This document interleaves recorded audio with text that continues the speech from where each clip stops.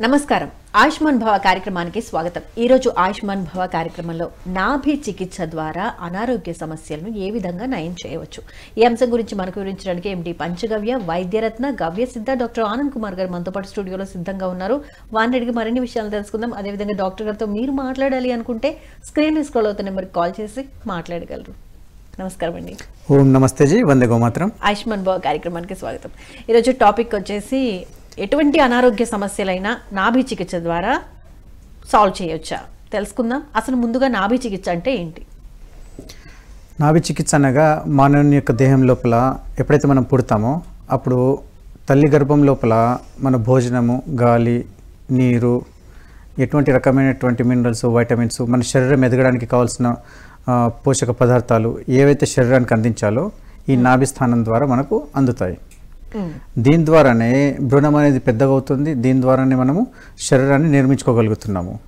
అయితే దీనికి కనెక్ట్ అయ్యడానికి అవకాశం ఉన్న ఎన్ని నాడులు తయారవుతాయి అంటే డెబ్బై రెండు వేల నాడులు చిల్లర కనెక్ట్ అవుతాయి అన్నట్టు ఈ యొక్క అంబిలికల్ కార్డ్ ద్వారా. అంటే ప్రతి వేన్ నుంచి ప్రతి పోషక పదార్థం ప్రతి శరీరానికి కావాల్సిన పోషక పదార్థం ఏదైతుందో అది వెళ్తుంది ఇక్కడ. అయితే దాని ద్వారా ఇక్కడ ఏం జరుగుతుంది అనేసి అంటే శరీరము పెద్దగా పెరుగుతుంది. పెద్దగా పెరిగిన తర్వాత తల్లి నుంచి ఎప్పుడైతే మనం వేరవుతున్నామో అది మనకు అలోపతి వాళ్ళు ఏం చెప్తారంటే దీన్ని అవశేష భాగంగా అంటారు. ఎందుకు? తల్లి నుంచి వేరైపోయింది కాబట్టి. లేకపోతే కడుపులో ఉన్నన్ని రోజులు ఈ యొక్క హృదయము ప్లస్ తల్లి యొక్క హృదయము. అంటే తల్లినప్పుడు మనము ద్విహృదయనిగా పిలుస్తారు ఇక్కడ. సో ఇక్కడ కడుపు నుంచి బయట వచ్చేసిన తర్వాత ఏం జరుగుతుంది అనేసి అంటే నోట్లో ఉమ్మినీరు ఆల్రెడీ నిండి ఉంటుంది. క్లోజ్ ఉంటుంది కదా దాన్ని తీయగానే ఊపిరి పీల్చుకుంటాడు ఏడుస్తాడు పిల్లోడు. ఆ ఏడుపు ద్వారా ఊపిరి వచ్చేస్తుంది దాని ద్వారా భూమికి వీడు కనెక్ట్ అయిపోతాడు. ఓకే. అప్పుడు కనెక్ట్ అయినప్పుడు ఆ టైం లోపల అంబెలికల్ కార్డ్ని ప్రాపర్ వేలో కట్ చేయాలి. అలా కట్ చేయడం వల్ల ఏమవుతుంది అంటే అన్ప్రాపర్ వేలో కట్ చేస్తే కొందరికి బొడ్డు బయటకు వచ్చేసి చేసి ఉంటుంది అక్కడ. ఇబ్బందికరంగా ఉంటుంది. అది కాకుండా ఈ మంత్రస్థానంలో ఉండేవారు ఇంతమంది దాన్ని ప్రాపర్లీ ఒత్తి కరెక్ట్గా కొంచెం ఎక్స్ట్రా ఉంచి దాన్ని ఫోల్డ్ చేసి పిన్ పెట్టేసేవారు.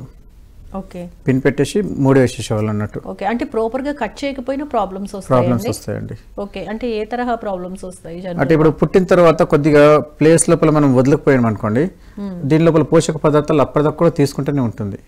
అంటిల్ అమ్మ పాలు తాగేదాకా. ఇది మనం ప్రాపర్ వేలో మనం కట్ చేయకపోయాం అనుకోండి ఇది అక్కడికి ఆగిపోయేసి ఆ యొక్క తన్ తల్లికి తల్లికి మధ్యలో ముందు ఏం చేసేవారంటే పుట్టిన వెంటనే అలా పిల్లోని తీసి అలా ఛాతి మీద పెట్టేసేవాళ్ళు అమ్మకు.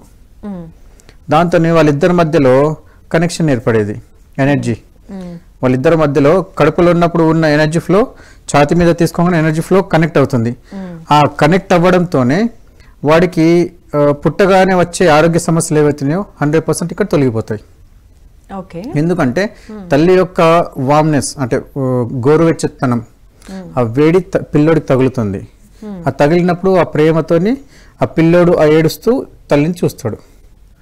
ఈ కనెక్షన్ ఏర్పడింది అనుకోండి పిల్లలు అసలు ఆరోగ్య అనారోగ్యం అనేది రాదు. ఇది ఫస్ట్ ఆఫ్ ఆల్. ఇప్పుడు అది ఆ స్థితి లేకుండా అయిపోయింది. చాలా మటుకు పిల్లలు ఆ, పెద్దగా పెరగడానికి బృందం పెరగడానికి వాళ్ళందరూ ఏం చేస్తున్నారంటే పిల్స్ ఇస్తున్నారు. ఈ పిల్స్ చేయడం వల్ల ఏమవుతుందంటే బృణం పెద్దగా అయిపోతుంది పిల్లలు పెద్దగా పెరిగిపోతున్నారు. దాంతో నార్మల్ డెలివరీ కన్నా శస్త్రచికిత్స చేయాల్సి వస్తుంది. యాక్చువల్లీ శస్త్రచికిత్స చేయాలి అనేసి అంటే అత్యవసర పరిస్థితుల్లో చేసేవారు. వీటి గురించి మనం ఎక్కడిన్నాము చాణక్యుడు చాణక్యుడి గురించి మనం చూస్తే కూడా మనం చూడగలుగుతాము. చాణక్యుడి లోపల ఏంటంటే చంద్రగుప్త మౌర్యుని యొక్క భార్య ప్రెగ్నెన్సీ ఉంటుంది. ఆ ఉన్నప్పుడు పిల్లోడు లోపల గతి తప్పిపోతాడు. అంటే వెళ్ళే పరిస్థితి గతి తప్పిపోయినప్పుడు అప్పుడు శల్య చికిత్స చేసి పిల్లోని బయట తీస్తారు. ఒకవేళ మనం పాస్ట్ టెన్స్ లోపల ఎక్కడ ఉందనేసి మనం చూస్తే. దాంతోపాటు దీనికి ఆది గురువు ఎవరు అంటే సుశ్రుతుడు సుశ్రుతుల వారు ఏం చేశారు అనేసి అంటే అప్పట్లో కాశీ నగరం లోపల శవాలు కాల్చేవారు. ఇప్పటికి కూడా కాలుస్తున్నారు. అక్కడ ముక్తిధామంగా ఏర్పడింది. ఉంది సో అక్కడ కాలువంగా వదిలిపోయిన శవాలని నీళ్ళలో పారిపోస్తారు కదా? అప్పట్లో ఈ సుశ్రుతిని యొక్క స్టూడెంట్స్ వీళ్ళు ఆ శవాల్ని తీసుకుపోయి దాని మీద రీసెర్చ్ చేసేవారు. అలా రాసినవి ఉన్నాయి కొన్ని ప్లేస్లలో. చేసేవారు. ఏ పార్ట్స్ ఎలా పార్ట్ చేస్తాయి ఏంది దాని మీద క్షుణ్ణంగా వీరు పరీక్షలు చేసినారు అప్పట్లో.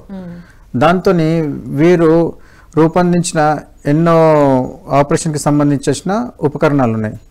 అవి ఇప్పటికి కూడా వాడుకలోనే ఉన్నాయి. దీనిలో దీనికి మించి వేరే కొత్త ఏం రాలే ఉపకరణాలు. సుశ్రుతిలో వారు ఏవైతే ఉపకరణాలు అప్పట్లో యూజ్ చేశారో ఆ ఆ యొక్క ఉపకరణాలే ఇప్పటికి ఉన్నాయి.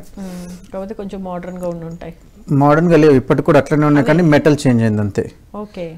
అప్పట్లో యూజ్ చేసేటివి అవే ఉన్నాయి. ఒకవేళ మీరు పాత పిక్చర్స్ చూస్తే మీకు తెలిసిపోతుంది. గూగుల్లో మీరు కొట్టేస్తే వచ్చేస్తుంది. ఇప్పటికి కూడా శస్త్రచికిత్సకి ఆద గురువుగా సుశ్రుతుల వారిని చేస్తూ ఉంటారు. అయితే ఇక్కడ మన టాపిక్ ఏంటి అంటే నాభి చికిత్స గురించి. ఎప్పుడైతే శరీరము తల్లి గర్భంలో ఉన్నప్పుడు వీరి యొక్క నాభి స్థానం వల్ల గురుత్వాకర్షణ బలము బ్యాలెన్స్గా ఉంటుంది. ఇది వెళ్ళిన తర్వాత తల్లి గురుత్వాకర్షణ బలం మళ్ళీ చేంజ్ అయిపోతుంది. అది సెట్ అవ్వడానికి మినిమం త్రీ మంత్స్ పడుతుంది. అందుకోసము వీరిని కదలనివ్వకుండా minimum three months bed rest ఇస్తారు అన్నట్టు తల్లికి. అప్పుడు ఏమవుతుంది? మాత ఎవరైతే ఉన్నారో పిల్లని కన్నదో ఆ తల్లి బాగా బాలింతలు అంటారు. అంటే ఏంటిది? మెత్తగా ఉంటారు వీరు బాగా. అతి చిన్న చిన్న పిల్లలు ఎలా ఉంటుందో ఆ కన్న తల్లి కూడా అలానే ఉంటుంది. ఎందుకంటే ఒళ్ళంతా మెత్తబడిపోతుంది అన్నట్టు. ఎందుకంటే ఇంకో జన్మనిచ్చింది కదా. అంటే ప్రకృతి లోపల ఇంకో ప్రకృతిని కన్నట్టు. ఇదొక ప్రకృతి. అయితే ఇంకో ప్రకృతిని మనం కన్నాం. ఇక్కడ కనెక్టింగ్ కట్ అయిపోయిన తర్వాత వీడికి భూమికి మధ్యలో ఉన్న గురుత్వాకర్షణ బలం బ్యాలెన్స్ అవ్వాలి.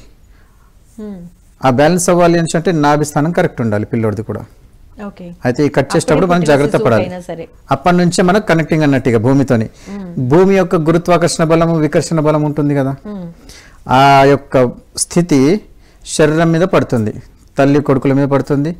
ఈ జగత్తులో ఉన్న ప్రతి జీవి పైన పడుతుంది. ఇట్లా నాభి చికిత్స అనేది దీనికే కాకుండా ఈవెన్ జంతువులకు కూడా ఉంటుంది. ఎందుకంటే వాటికి కూడా నాభి ఉంటుంది. నాభి స్థానం లేని జంతువులు ఏమైనా ఉన్నాయా అనేసి అంటే గుడ్లతో పొదిగిన జంతువులు మాత్రమే ఉన్నాయి. మిగతా అన్ని క్షీరదాలు ఏవైతే ఉన్నాయో అన్నిటికీ నాభి స్థానం ఉంది. నాభి స్థానం ఉన్నది అంటే ఈ భూమికి దానికి గ్రావిటికల్ ఫోర్స్ అయితే ఈ నాభి స్థానం ఉన్న జంతువుల లోపల అతి ఉత్తమమైన జంతువులు ఎవరు అంటే మానవులు. అతి ఉన్నత స్థితిలో ఉన్న జంతువులు అన్నట్టు వీళ్ళు. వీరికి ఏం చేయాలి ఏం చేయకూడదు వీరికి విచక్షణ జ్ఞానం బాగా ఉన్నది. అయితే ఏం చేయాలి ఏం చేయకూడదు అనేది రాను రాను ఎలా అయిపోయింది అంటే ఇంకొకరి యొక్క దిశానిర్దేశన కావాలి వీళ్ళకు. కొన్ని టైంలో దిశానిర్దేశన ఇచ్చినా కానీ ఏది మంచి చెడు ఏది తెలుసుకోక రాంగ్ వేలో వెళ్ళడం జరిగింది అన్నట్టు. ఈ ఏ దిశలో ఎలా వెళ్ళాలి ఎలా ఉండాలి ఎలా తినాలి ఎలా పండుకోవాలి పూర్వీకులు ముందే దీని గురించి చాలా బాగా అభ్యసించేశారు. ఉదాహరణకు చూసిండ్రు అనుకోండి పొద్దున్న లేవగానే కాలకృత్యాలు పోయిన తర్వాత కడుక్కోవాలి. ఇది రీసెర్చ్ చేసి అప్పుడే కనుక్కున్నారు.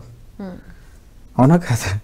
తర్వాత పండ్లు తోమాలి. పండ్లు తోమకపోతే పండ్లు పాడైపోయి రాలిపోతాయి అనేసి తెలుసుకున్నారు. మళ్ళీ ఏదైనా శరీరానికి ఆరోగ్యం కావాలి అనేసి అంటే శరీరంలో పొద్దున లేవగానే కొంచెం కదలికలు ప్రాణాయామము యోగా ఇవి చేయాలని మహర్షులు ఎప్పుడు చెప్పేసిండ్రు. అంటే ఆల్రెడీ వీటి గురించి రీసెర్చ్ అయిపోయింది. మనం పెద్దగా చేయాల్సింది ఏం లేదు ఉన్నదాన్నే మనము సక్రమంగా వారు చెప్పిన పద్ధతిలో వెళ్ళిపోతూ ఆ యొక్క స్థితిని రాసిన విధానాన్ని మనం కాపాడుకుంటూ ముందు తరాలకు కరెక్ట్ ఇస్తూ వెళ్ళాలి. దాని లోపల పదార్థాలను మొత్తం రాగా తినకూడదు శరీరం అరగదీయదు అని చెప్పారు కొందరికి. అలాంటప్పుడు ఏం చెప్పిండ్రు ఇక్కడ? ఉడక పెట్టేసి తినడం మొదలు పెట్టినాం అంటే అగ్నిని యూజ్ చేయడం మొదలు పెట్టినాం ఇక్కడ తర్వాత ఈ శరీరానికి ప్రతిసారి రోజు ప్రొద్దున లేవగానే అంటే ఇరవై నాలుగు గంటలకు ఒకసారి ఈ శరీరాన్ని శుద్ధి చేయాలని చెప్పిండ్రు అంటే స్నానం. అయితే ఎలా శుద్ధి చేయాలి? వేడి నీళ్ళతో చేయాలా? చల్ల నీళ్ళతో చేయాలా? గోరువెచ్చని నీళ్ళతో చేయాలా? వారి యొక్క స్థితులను బట్టి వాత కఫ పిత్తాలని బట్టి ఇచ్చేస్తున్నాం. మరి వాత కఫ పిత్తాలు ఎలా బ్యాలెన్స్ అవుతాయి? నాభి స్థానము సరి అయిన స్థితిలో కేంద్రక స్థితిలో కరెక్ట్ ఉంటే వారి యొక్క స్థితి కరెక్ట్ ఉంటుంది. అయితే వాళ్ళ యొక్క బుద్ధి ఆలోచన ఈ ఈ తత్వం అనేది బ్యాలెన్స్గా ఉంటుంది అలా లేని వారిది ఈ యొక్క ఎలిమెంట్స్లో ఈ పంచభూతాల ఎలిమెంట్స్ ఏవైతే ఉన్నాయో వాటిలో ఏదో ఎలిమెంట్ రాంగ్గా నడుస్తుందని అర్థం ఓకే. ఎప్పుడైతే రాంగ్ ఎలిమెంట్కు ఆ, గతి తప్పుతుందో అప్పుడు వారి యొక్క బుద్ధి వివేకం అనేది నశిస్తుంది ఇక్కడ. ఇవన్నీ కనెక్టింగ్ అన్నట్టు ఒకదానికోటి మళ్ళీ ఇవన్నీ ఎట్లా కనెక్ట్ అవుతుంది? భూమి నుంచి గురుత్వాకర్షణ బలం. అంటే గురుత్వాకర్షణ బలానికి శరీరం మీద అంత ప్రభావం చూపిస్తుంది. ఇది ముందే కనుక్కున్నారు.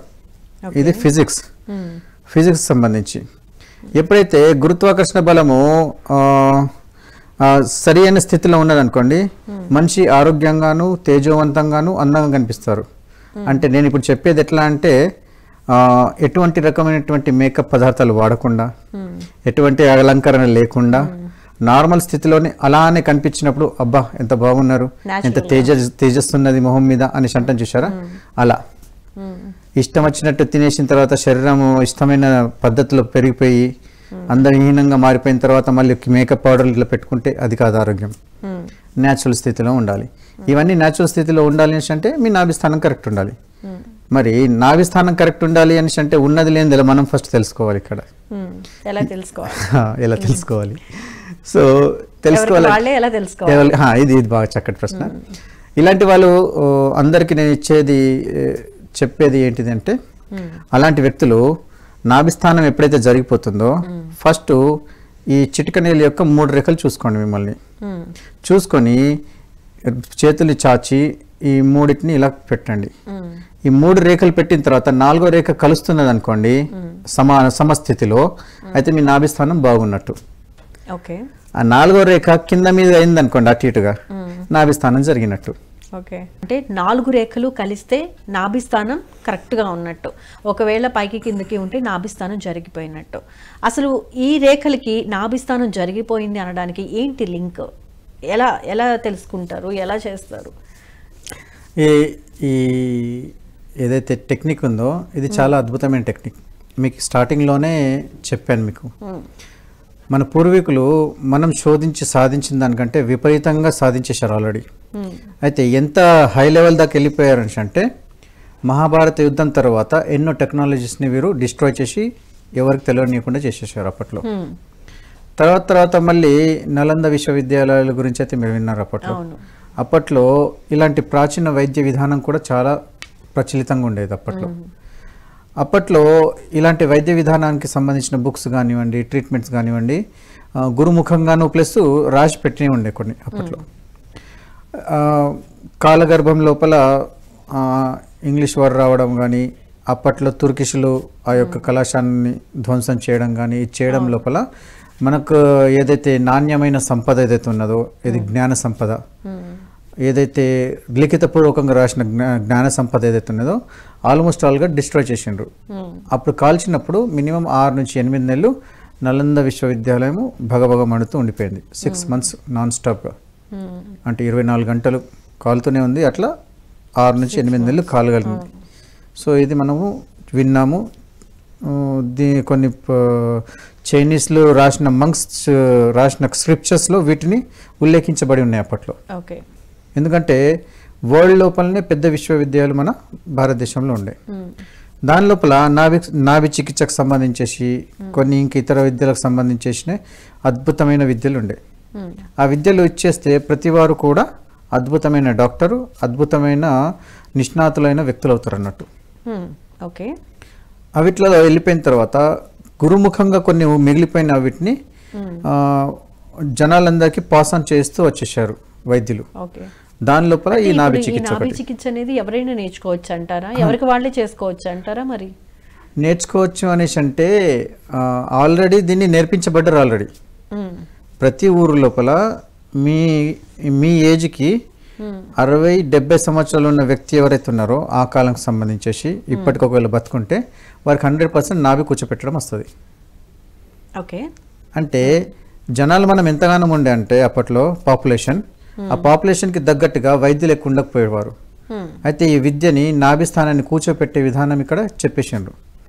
దాని లోపల కొందరు ముంత పెట్టేసి నాభిని సెట్ చేయడం అంటే ఇది ప్రతి పదిహేను ఇరవై కిలోమీటర్లకు ఒకసారి ఎట్లయితే మీరు జర్నీ చేస్తూ ఉంటారో సౌత్ ఇండియా నుంచి నార్త్ సైడ్ వెళ్ళినప్పుడు ఇట్లా జర్నీ చేస్తూ ఎట్లయితే వెళ్తూ ఉంటారో ప్రతి ప్రాంతానికి డిఫరెంట్ టైప్గా నాభిని సెట్ చేసే విధానము ఉంటుంది మీకు.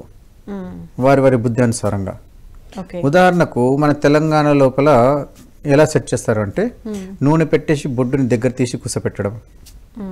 తర్వాత కర్పూరాన్ని బొడ్డు పైన అంటే ఒక చిన్న రాయి పెట్టి దాని మీద కర్పూరం ఉంచి దాని మీద ఏం చేసేవారు అంటే ముంత బోర్లు ఇచ్చేవారు. కర్పూరము వెలిగిన తర్వాత గాలి వెళ్ళిపోయేసి ఆ కడుపులో అలా పట్టేసుకొని లాగేస్తుంది అన్నట్టు మధ్యలో రాయి ఉంది కదండి మరి? రాయి ఏం చేయదు రాయి అక్కడే ఉంటుంది. ఓకే. సో అట్లా ఉన్న తర్వాత అది పట్టేసుకుంటుంది. ఎంతవరకు పట్టుకుంటుంది? ఆ నాభి స్థానము ప్రాపర్ ప్లేస్ వచ్చేదాకా అది అట్లనే ఉంటుంది. అది ఆ ప్లేస్కి వచ్చేసిందంటే ఆ గిన్నె ఏదైతే ముంత ఉందో ఆటోమేటిక్లీ వెళ్ళి పడిపోతుంది ఓకే. ఇది ఒక విధానము తర్వాత కొందరు యోగ గురులు వాళ్ళు కొందరు ఇంకొంచెం ఉన్నత స్థితిలో ఉన్న వాళ్ళు ఏం చేసేవారు? నీళ్ళ లోపల ఒక మీలాంటి చున్నీ ఉంది కదా? కాటన్ చున్నీని అలా నీళ్ళల్లో ముంచేసి పెట్టి ఇగ్గేవారు. దాంతో కప్పు కూర్చోపెట్టి కూర్చోపెట్టేవారు అన్నట్టు నాభిస్థానాన్ని ఓకే. అదొక టైప్ విద్య. ఓకే. జస్ట్ దానికి కావాలి ఏంటంటే గురుముఖంగా నేర్చుకోవడం రావాలి. అండ్ దాంతోపాటు ఎంత తీవ్రత యూజ్ చేయాలి? ఎంత తీవ్రత లోపల కూర్చోపెట్టాలి? ఇది ఐడియా రావాలి. ఇది ఐడియా రావాలంటే గురుముఖంగా నేర్చుకోవాలి. థియరీగా చెప్తే వచ్చేది కాదు. థియరీగా నేను చెప్పడానికి పోతే దీని మీద రెండు బుక్కులు రాయగలుగుతాను నేను. ఓకే. ప్రాక్టీస్ మీదే వస్తుంది. ప్రాక్టీస్ మీదే వస్తుంది. తర్వాత నేను కూర్చోపెట్టే విధానము మా యొక్క పంచగవ్య వైద్య చికిత్స లోపల చెప్పబడింది క్లియర్ క్లియర్లీ? దాని లోపల వేలిగ్గి సెట్ చేయడం లాంటివి చేస్తాము. దాన్ని ఇంకొంచెం మోడర్నైజ్ చేసి దాన్ని ఇంకొంచెం పర్ఫెక్ట్గా ఇంకా తొందరగా కూర్చునే విధంగా నేను దాన్ని రూపుదిద్ది పెట్టాను అన్నట్టు నా అనుభవంతో దాంతో అట్లా ఒక వ్యక్తికి మనం నాభి కూర్చోబెట్టాలి అంటే రెండు నుంచి మూడు నిమిషాలలో కూర్చోబెట్టేసేయచ్చు. ఓకే ఎక్కువ టైం కూడా పట్టదు అయితే పట్టదు. చాలా ఈజీ. ఓకే. అయితే ఆనంద్ గారు నాభి స్థానం జరగడం అంటే ఎంత మేరకు జరిగితే అది ప్రాబ్లం అవుతుంది? అసలు కొంచెం జరిగినా జరిగినట్టేనా? మిల్లీ మిల్లీలు ఉంటాయి కదా. Millimetre centimetre inch. మిల్లీమీటర్ లోపల ఫైవ్ మిల్లీ జరిగినా టూ మిల్లీ జరిగినా కానీ శరీరం లోపల శరీరం మార్పు వస్తాయి ఓకే. అదే హాఫ్ ఇంచ్ జరిగితే ఇంకెక్కువ మార్పులు. వస్తాయి. ఇంచ్ జరిగితే ఇక అతి తీవ్రమైన ప్రమాదం అన్నట్టు. అంటే శరీరం లోపల కేంద్రక బిందువు జరగద్దు. ఏదైనా కేంద్రక బిందువు ఉన్నది అని అంటే స్థితిని పట్టుకొని ఉంచుతుంది కేంద్రక బిందువు జరిగిపోయిందంటే ఆటోమేటిక్లీ ఫెల్ డౌన్ అవుతుంది. తప్పుతుంది. అదే విధంగా శరీరం లోపల బ్యాలెన్స్ అయితే ఉన్నది మన బొడ్డు. ఈ బ్యాలెన్స్ తప్పిపోయింది అనేసి అంటే ఊపిరితిత్తుల మీద గుండె మీద మనం మాట్లాడుతున్న సౌండ్ మీద కూడా ఎఫెక్ట్ పడుతుంది. కంటి చూపు మీద ఎఫెక్ట్ పడుతుంది. ఇక్కడ జరిగిపోయింది అనుకోండి డైజెషన్లో ప్రాబ్లం వస్తుంది ఆటోమేటిక్లీ కొందరికి అసిడిటీ ఇవి రావడము అన్డైజెషన్ ఆకలి కాకపోవడము లేకపోతే ఆకలి విపరీతం కావడం మోషన్స్ విపరీతంగా తలగడం లేకపోతే మోషన్స్ తలగకపోవడము ఇవన్నీ మో- దాని యొక్క గతి. అంటే ఉదాహరణకి ఎలా? ఇది మధ్య గతి తర్వాత up down side by side తర్వాత ఈశాన్య మూలలు ఏవైతే కార్నర్స్ ఉన్నాయి కదా ఇట్లా అష్ట దిశల లోపల ఎటు నాభిస్థానం జరిగిపోతుందో అట్లా అట్లా శరీరం లోపల ఇబ్బందులు మీకు చూపించడం మొదలు పెడుతుంది ఇది. ఓకే. అంటే ఉన్నట్టుండి మోషన్స్ అవుతున్నాయి అనుకోండి లేకపోతే తిన్నది అరగలేదు అనుకోండి వామిటింగ్ సెన్సేషన్ వస్తుంది అనుకోండి ఆ ఒక్క పర్టిక్యులర్ ఆ టైంలోని నాభిస్థానం జరిగింది అని అనుకోవాలా? లేకపోతే ఈ ప్రాబ్లమ్స్ అన్ని కంటిన్యూ అవుతుంటే నాభిస్థానం జరగడం వల్ల ఇలాంటి ప్రాబ్లం వచ్చిందని అనుకోవాలా? మీరు చెప్పింది సిమ్టమ్ దాని లోపల నొప్పి రావాలి. మీరు చెప్పిన దానిలో నొప్పి కనెక్ట్ అయిపోయింది అనుకోండి హండ్రెడ్ పర్సెంట్ నావి జరిగిపోయినట్టే. Hmm. అది నా చూసేసిన తర్వాత సెట్ చేయాలి. ఆ సెట్ చేసిన తర్వాత కూడా నీకు అప్పుడు మోషన్లో ఇబ్బంది వచ్చిందని అంటే అప్పుడు నీ యొక్క acidic levels up and down pH levels ఎక్కువ తక్కువ అయిపోయినట్టు. యాసిడిస్ యాసిడిక్ లెవెల్ ఎక్కువైపోయింది అనుకోండి ఆటోమేటిక్గా దాన్ని సెడేషన్ చేయాలి అంటే తగ్గించాలి. అంటే అప్పుడు ఏం చేయాలి? ఒగరు పదార్థాలు తీసుకోవాలి. యాసిడ్ని కంట్రోల్ చేసేది ఏంటంటే ఒగరు పదార్థాలు. ఈ మరేం తింటారు ఒగరు పదార్థాల లోపల? ఏమున్నాయి మనకు చెప్పండి పదార్థాల్లో? మెయిన్గా కాకరకాయ ఉంది. కాకరకాయ. కాకరకాయ చేదండి ఒగరు కాదు. వగరు చేదు వేరు వగరు వేరు కదా? అవును కదా. ఓకే ఆ నిమ్మకాయ అంటే పెద్ద. రాతి ఉసిరి ఒక రకమైన వగరు వెరీ గుడ్ వెరీ గుడ్ ఇది బాగా చెప్పారు. ఉసిరి పౌడర్ని మనం యూజ్ చేయొచ్చు. ఆ, తర్వాత జామకాయలు ఒగరున్న జామకాయలు తీసుకోవచ్చు. ఒగరున్న జామకాయ ఆకుల్ని లేత ఆకుల్ని తీసుకోవచ్చు. దీనికి ఇంకా అద్భుతంగా పనిచేసేది ఇంకోటి ఏంది అనేసి అంటే పొమగ్రానైట్ ఓకే దానిమ్మ. ఓకే దానిమ్మ లోపల ఉన్న విత్తులు కాదు. దానిమ్మ తొక్క. దానిమ్మ తొక్కని మీరు దంచి దాని రసాన్ని తీసి బాగా విపరీతంగా ఉన్న వాళ్ళకు హాఫ్ చెంచా తాగిపిస్తే చాలు. వాడి మోషన్ ఇమ్మీడియట్లీ ఆగిపోతుంది. ఓకే. ఇది అద్భుతమైన చికిత్స. మోషన్ ఆగిపోతుంది. ఓకే. అంటే దానిమ్మ పీల్ తొక్క ఏదైతే. ఉందో దాన్ని దంచి దాని నుంచి వచ్చిన రసాన్ని ఒక టూ త్రీ స్పూన్స్ అంటారా? లేకపోతే హాఫ్ స్పూనే టూ త్రీ స్పూన్ అంటే వాడు వారం రోజులు మోషన్ రాదు వాడికి. ఆగిపోతుంది బండి. ఓకే. అతిగా తీసుకున్న ప్రాబ్లమే తక్కువ తీసుకున్న ప్రాబ్లం నో నో. తక్కువ తీసుకుంటే మీరు మోతాదులో కరెక్ట్ ఉంటుంది అది ఓకే. చిన్న పిల్లలు ఉంటే ఒక రెండు చుక్కలు. ఓకే. చిన్న పిల్లలు ఉంటే రెండు చుక్కలు. పెద్దవారు ఉంటే half spoon. Half spoon. That's it motion విపరీతంగా నీళ్ళలాగానే వెళ్తుందంటే వన్ స్పూన్. ఏం చేస్తుంది? కంట్రోల్ చేసేస్తుంది. దానికి తగ్గట్టుగా బాగా విపరీతంగా పోవడం వల్ల ఏం జరుగుతుంది ఇక్కడ మీకు? ఈ వాటర్ కన్ వాటర్ అనేది తగ్గిపోతుంది కదా ఇక్కడ? అందుకోసం వీరికి ఓఆర్ఎస్ ఇవ్వడము చక్కెర మరియు దాంతోపాటు ఉప్పు నీరు కలిపేసి మనం ఇస్తాం చూడండి ఓఆర్ఎస్ టైప్లో అది ఇస్తూ ఉంటారు అన్నట్టు. ఎందుకంటే పూరకంగా.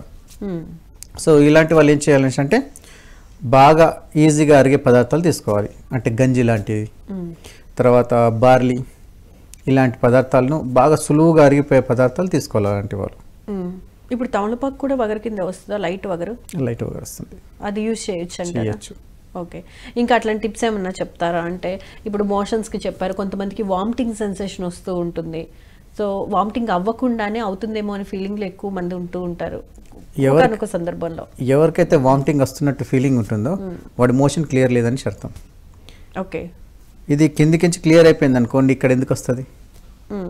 సో వారి మోషన్ క్లియర్ చూసుకోవాలి. వారికి మోషన్లో ప్రాబ్లం వస్తే అలాంటి ఫీలింగ్ వస్తుంది. ఇంకొందరు మోషన్ ఆగిపోవడానికి చెప్పారు. మరి మోషన్ ఫ్రీగా అవ్వడానికి ఏమన్నా టిప్స్ చెప్తారా? ఉన్నాయి కదండి. ప్రకృతి లోపల లేదంటే ఏది లేదు. ఏదైనా చేయొచ్చు. అద్భుతాలు అన్నటివి. అసలు వింటుంటేనే అసలు ఇట్లా ఇంత విచిత్రంగా ఉందా అనిపిస్తుంది. కానీ ఇట్లా ఆలోచించాం మనం ఎప్పుడు. ఇక ఆగిపోయిన మోషన్ని మనము ఓపెన్ చేయాలి అంటే ఒగరు పదార్థాలు మళ్ళీ. కరక్కాయ తానికాయ ఉసిరికాయ. ఈ మూడు ఒగరులు అద్భుతంగా పనిచేస్తాయి.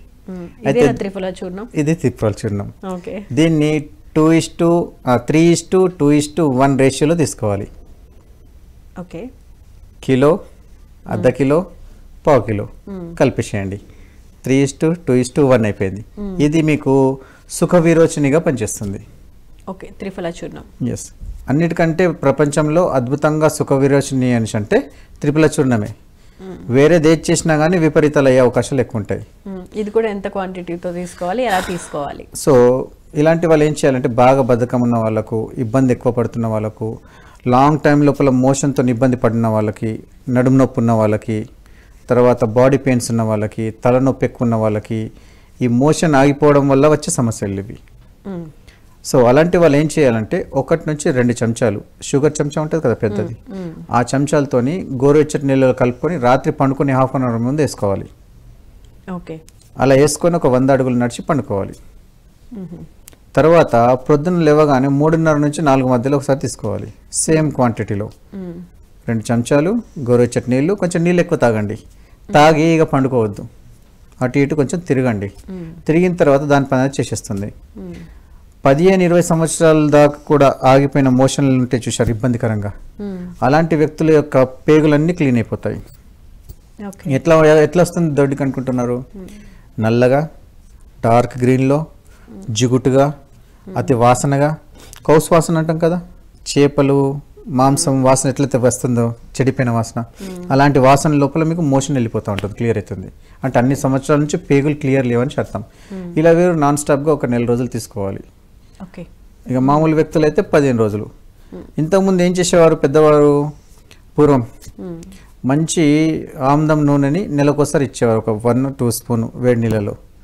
విరోచని నెలకోసారి చేసుకుంటున్నారు ఇంతకుముందు ఇప్పుడు చేస్తున్నారా? అసలు లేనే లేదు. తినే ఆహార పదార్థాల లోపల నెయ్యిని మంచిగా విపరీతంగా ఇచ్చేసేవారు ఆవు నెయ్యిని. అది చేయడం వల్ల ఎప్పుడు డైజెషన్ సిస్టమ్ పర్ఫెక్ట్గా ఉండేది. అండ్ బుద్ధి కూడా బాగుండేది. ఆలోచనలు కూడా పవిత్రంగా ఉండేటి.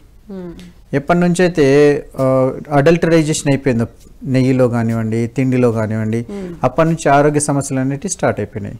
దాంతోపాటు అన్నిటికంటే ఎక్కువ దారుణమైన పరిస్థితి ఏంటంటే తామసిక గుణం. తామసిక గుణం లోపల ఏమొస్తుంది? ఆలసత్వము లేటుగా లేవడము ఇష్టం వచ్చిన పదార్థాలు తినడము అరగలేని అరగలేని పదార్థాలు మ్మ్. ఏవైతే తినకూడదో అలాంటి పదార్థాలు నిర్జీవమైన పదార్థాలు ఎక్కువ ఇష్టపడడము. అంటే నిర్జీవమైన పదార్థాలు ఏంటి? నాన్ వెజ్ నాన్ వెజ్ వస్తుంది. దాని తర్వాత అధిక వేపుళ్ళు అది కూడా చంపేస్తున్నాం కదా పదార్థాన్ని. మోస్ట్లీ శరీరం ఏముంది? అన్ని రకాల పనులు ఉన్నాయి మనకి ఇక్కడ. నాన్ వెజ్ సంబంధించి అంటే నాన్ వెజ్కి సంబంధించి మనకు పనులు లేవు లెక్క ప్రకారం చూస్తే. ఓన్లీ చీల్చే పనులు మాత్రమే ఉన్నాయి. ఎట్లా? చెరుకుని చీలుస్తాం కదా? అలా ఉన్నాయి. దాన్ని నాన్ వెజ్కి ఇస్తున్నారు అనేసి అనుకుంటారు చాలా మంది అది తప్పది. ఆ విధంగా మనకు అన్ని రకాల పనులు ఉన్నాయి ఇక్కడ. ఎందుకు? మనం తినే పదార్థాలు అట్లుంటాయి. మనం ఏం చేస్తాము? తింటాము. అంటే కొరకడము నమలడము నాకడము మళ్ళీ జుర్రడము ఇదంతా తినే ఆహార పదార్థాలు మనకు రొటీన్గా ఉన్నాయి అన్నట్టు. అలాంటి పదార్థాలు తీసుకుంటే ఆరోగ్యం హండ్రెడ్ పర్సెంట్ బాగుంటుంది. ఇంకా క్లియర్గా తెలుసుకుందామండి కాలర్తో మాట్లాడిన తర్వాత. హలో. హలో. నమస్తే అండి. మీ పేరు ఎక్కడి నుంచి మాట్లాడుతున్నారు? మీ పేరు మీ పేరు చెప్పండి. నా పేరు నాగమల్లేశ్వరమ్మ అండి. నాగమల్లేశ్వరం గారు ఏం తెలుసుకోవాలనుకుంటున్నారు? ఫస్ట్ ఆఫ్ ఆల్ మీ టీవీ వాళ్ళు మ్యూట్లో పెట్టి. మీ ప్రాబ్లం ఏంటో ఏం తెలుసుకోవాలనుకుంటున్నారో డాక్టర్ గారికి చెప్పండి. నాకు మెన్నారాలో అరిగిపోయింది అండి ఓకే. దానికి ఉందా లేదా. ఎంతకాలం నుంచి ఈ సమస్యతో సఫర్ అవుతున్నారు?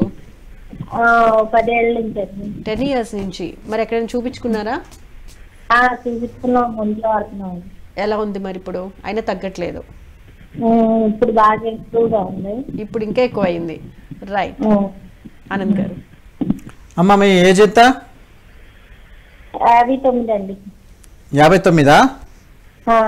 ఓకే. అయితే మెడ నరాలు అరిగిపోయింది అనేసి అంటున్నారు. మెడలు కదిలొస్తున్నాయా?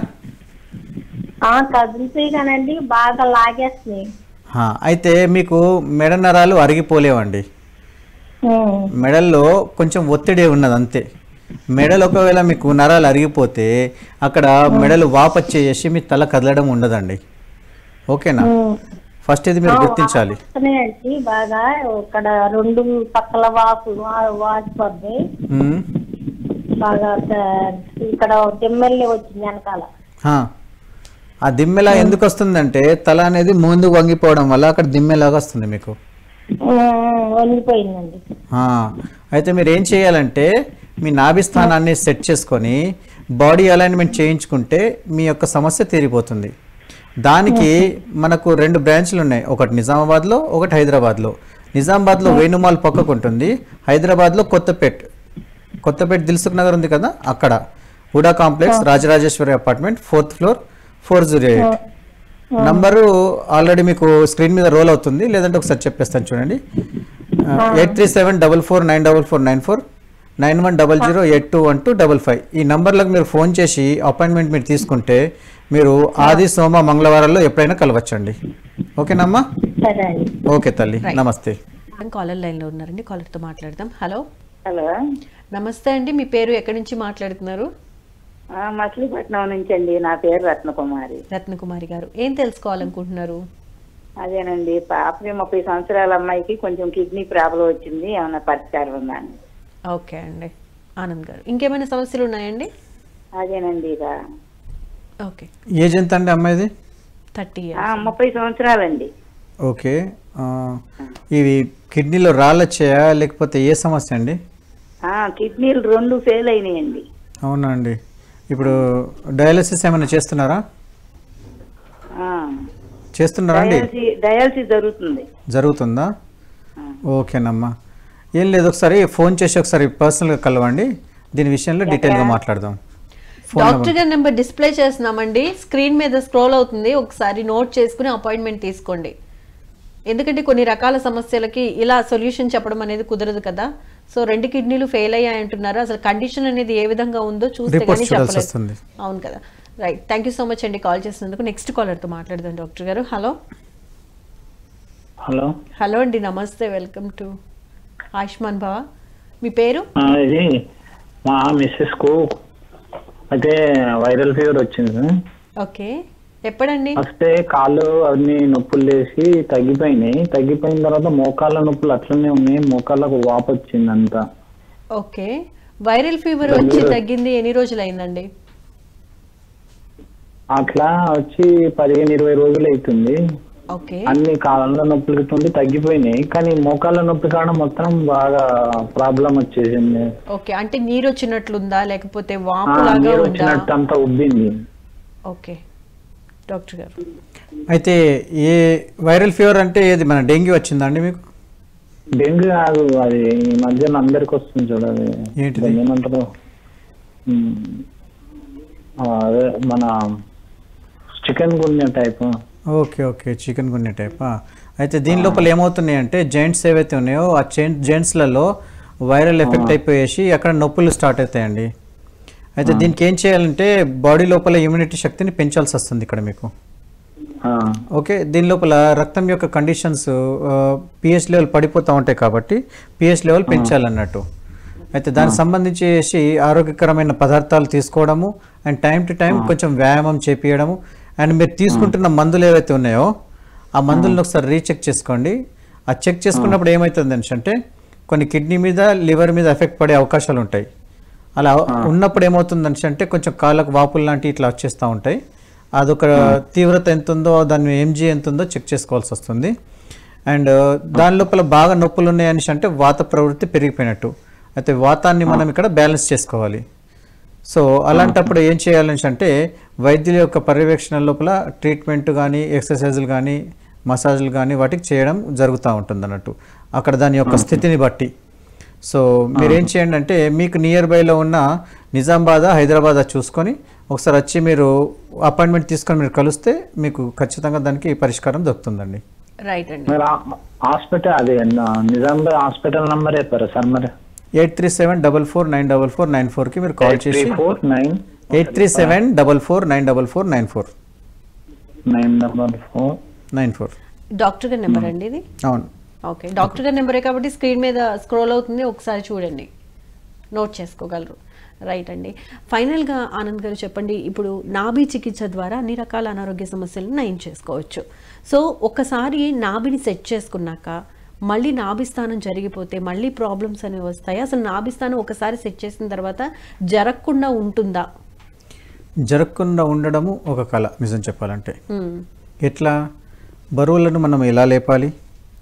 మళ్ళీ ఎలా జంప్ చేయాలి. అవన్నీ మనకు రావాల్సి వస్తుంది. స్టెప్స్ ఎక్కేటప్పుడు ఎలా ఎక్కాలి?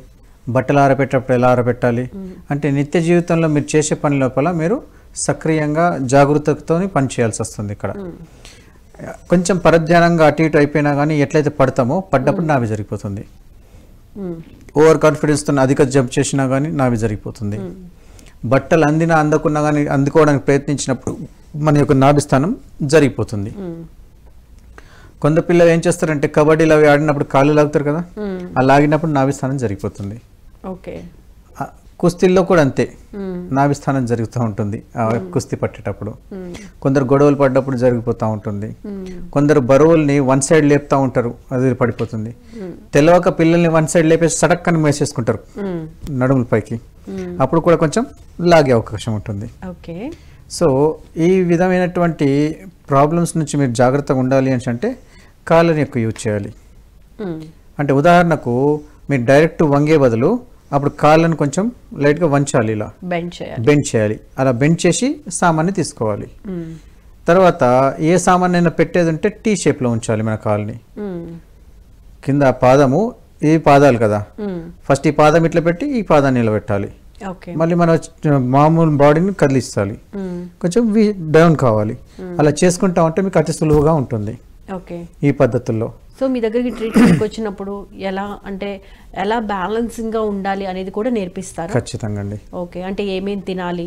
అది ఇక్కడ మళ్ళీ ఈ యొక్క నాభి స్థానం సెట్ చేసిన తర్వాత పత్య పత్య పాలన ఖచ్చితంగా ఉంటుంది. పత్య పత్య పాలన అనేసి అంటే ఏమి తినాలి ఏమి తినకూడదు. ఎలా ఉండాలి ఎప్పుడు లేవాలి ఆ, ఏమేం పనులు చేయాలి ఎట్లా చేయాలి అనేది సవివరంగా మొత్తం ఒక పేపర్లో రాసి ఇవ్వబడుతుంది మరియు చెప్పబడుతుంది. అండ్ ఒకవేళ అది అలా చేసుకుంటే నాభి స్థానాన్ని స- పర్ఫెక్ట్గా మనం కూర్చోపెట్టచ్చు ఇక్కడ. Okay right. Thank you so much అండి. ఈ నాభి చికిత్స అంటే ఏంటి? ఎటువంటి అనారోగ్య సమస్యలైనా ఏ చికిత్స ద్వారా క్లియర్ చేసుకోవచ్చు? చాలా ఎక్స్ప్లెయిన్ చేసినందుకు అండ్ అదేవిధంగా మా కాలర్స్ అడిగిన ప్రశ్నలకి చాలా చక్కటి సమాధానాలు వివరించినందుకు ధన్యవాదాలండి. ఓం. నమస్తే జీ. వందే గోమాత్రం. చూసారు కదండి ఇది వాళ్ళ ఆయుష్మాన్ భవ కార్యక్రమ విశేషాలు. మరో ఎపిసోడ్లో మళ్ళీ కలుసుకుందాం. అంతవరకు చూస్తూనే ఉండండి. పిఎంసి నమస్కారం